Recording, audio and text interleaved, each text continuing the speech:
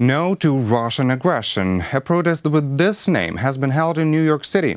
Activists with Ukrainian and Crimean Tatar flags stood outside the building of Russia's temporary representation in the United Nations.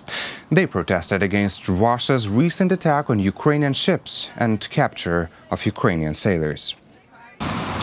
Ми зібрались тут сьогодні в першу чергу. We gathered here first and foremost to support our sailors who were so brazenly and unreasonably captured by the Russian Federation. Guys, we're with you.